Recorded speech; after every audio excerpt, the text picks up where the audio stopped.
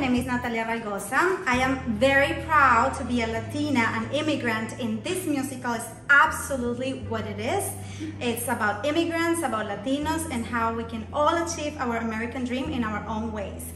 If you believe as we do that stories shape the way we see ourselves and the world around us, we hope that you'll join us in our mission of incubating culture shifting musicals.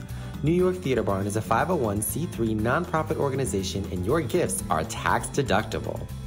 You can make a donation at any time by going to www.newyorktheaterbarn.org/give, or you can text 631-710-NYTB. So I'm very happy to be part of this production and to get to tell my story through the musical.